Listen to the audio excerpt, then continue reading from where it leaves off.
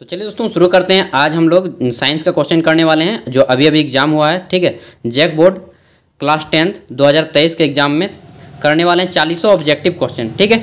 और इसका आंसर देख लीजिएगा। तो पहला क्वेश्चन पूछा गया था कि किस दर्पण में वास्तविक फोकस होता है? इंग्लिश में जो लोग पढ़ना चाहते हैं, वो इंग्लिश में पढ़ सकते हैं। Which mirror has a real focus ठीक है तो इसका राइट आंसर हो जाएगा उत्तल दर्पण, यानी कि कॉनकेव। ऑप्शन दो। आगे देखते हैं क्वेश्चन नंबर टू इसमें पूछा गया था कि मोटर वाहन के सामने कौन सा दर्पण लगा होता है। तो इसका सही उत्तर हो जाएगा उत्तर यानी कि इसका भी आंसर हो जाएगा ऑप्शन टू कॉनकेब कॉन्वेक्स, ठीक है?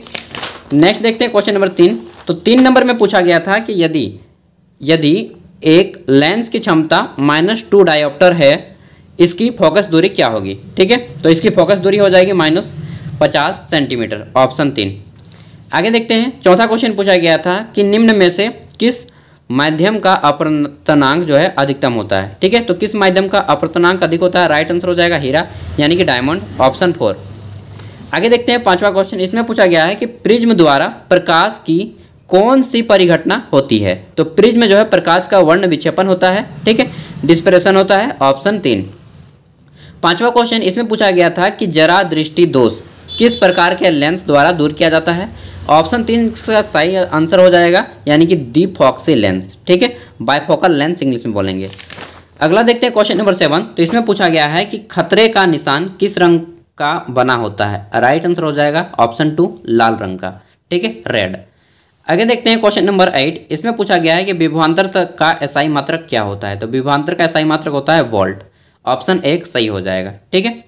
क्वेश्चन नंबर नाइन देख लेते हैं। तो इसमें पूछा गया है कि विद्युत परि पथ में धारा की माप के लिए किसका उपयोग किया जाता है? तो इसका सही उत्तर हो जाएगा एमीटर का उपयोग किया जाता है, ठीक है? टेन नंबर क्वेश्चन देखिए, इसमें पूछा गया है कि किसी बल्ब से एक मिनट में 120 कूलम का आवेश प्रभावित होता है तो प्रभावित धारा का मान कितना होगा? सही उत्तर हो जाएगा दो एम्पियर, ठीक है? ये मिनट में इसको सेकंड में चेक कीजिएगा। आगे देखते हैं क्वेश्चन नंबर इलेवन की ओर। तो क्वेश्चन नंबर ग्यारह, इसमें पूछा गया है कि एक यूनिट विद्युत ऊर्जा का मान कितना होता है? तो इसका सही उत्तर हो जाएगा three point six into ten का पावर सिक्स जूल ठीक है? आगे देख लेते हैं। तो नेक्स्ट क्वेश्चन बारह नंबर। इसमें पूछा गया है कि विद्युत धारा प्राप्त करने की युक्ति को कहते हैं।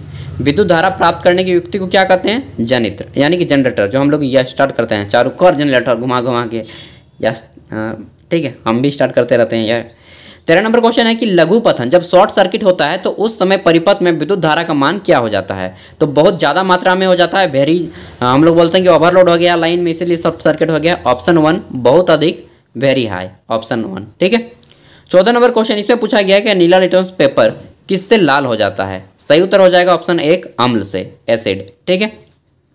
तो देखिए, हमारा अगला क्वेश्चन है, इसमें पूछा गया है कि निम्न में कौन क्षार है, ठीक है?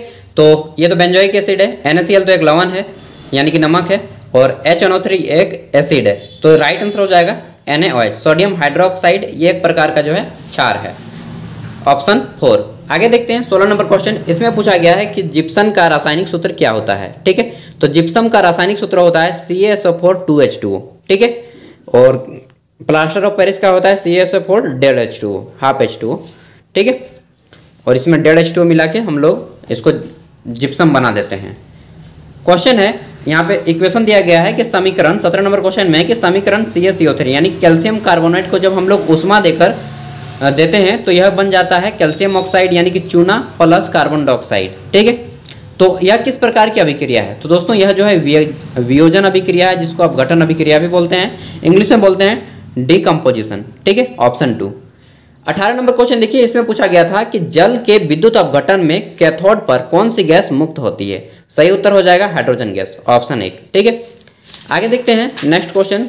इसमें पूछा गया है कि उपचयन अपचयन अभिक्रिया का दूसरा नाम क्या है? तो सही उत्तर हो जाएगा रेडॉक्स अभिक्रिया। उपचयन अपचयन अभिक्रिया का दूसरा नाम है रेडॉक्स अभिक्रिया। ठीक है?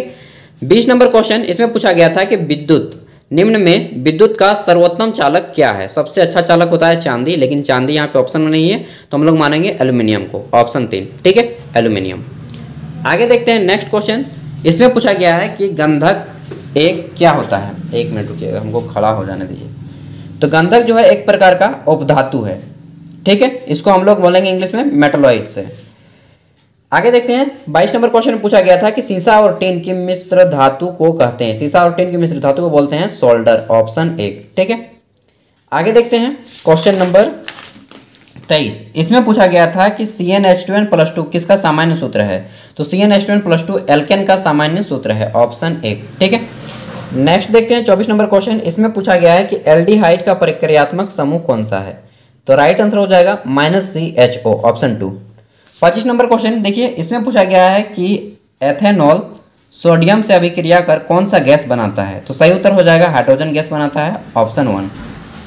आगे देखिए, छब्बीस नंबर क्वेश्चन, इसमें पूछा गया है कि आधुनिक आवर्त सारणी में आवर्तों की संख्या कितनी है? तो आधुनिक आवर्त सारणी में आवर्तों की संख्या है सात, ऑप्शन वन। ठीक है?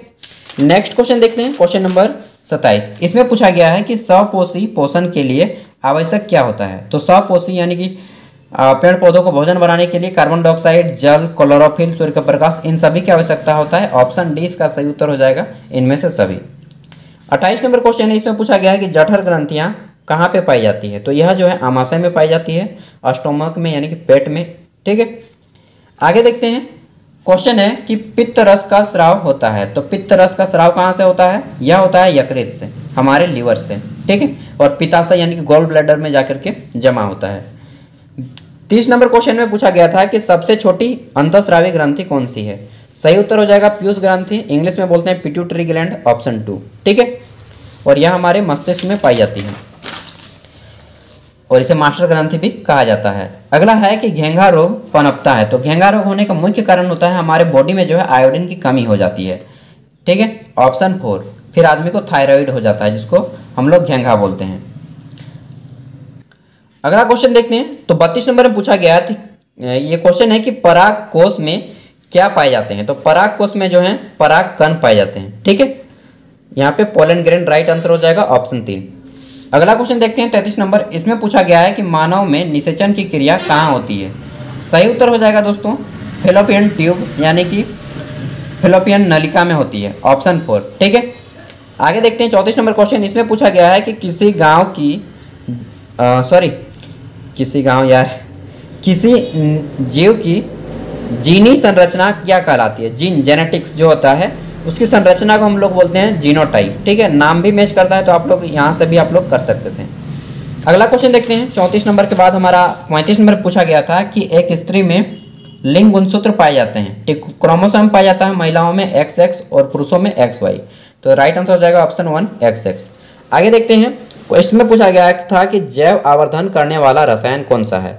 राइट उत्तर हो जाएगा डी डी टी ठीक है? और पारा भी होता है, लेकिन पारा यहाँ पे ऑप्शन में नहीं है। पारा को हम लोग शॉर्ट में एच एच जी लिखते हैं, ठीक है? एच जी मतलब पारा।